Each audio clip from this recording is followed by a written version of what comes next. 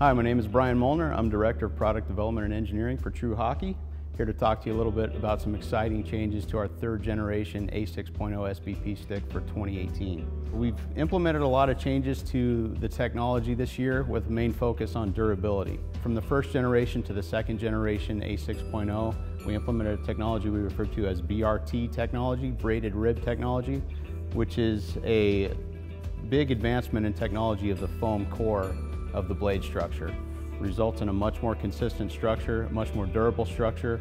We saw great improvements, big reduction in warranty returns, big increase in durability in the blade with the second generation. So what we did for 2018 was we improved on that technology by reducing some weight in the blade, change how the laminates of the shaft run into the blade, and create more space in the heel section, which allows us to extend that BRT technology all the way through the heel of the blade the heel is a very common area for blade failures. This is going to greatly improve the durability in the heel section of the blade.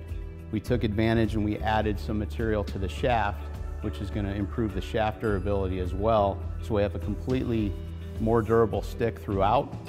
We've still got that same Smart Flex profile that you've grown accustomed to in the previous two generations of the stick.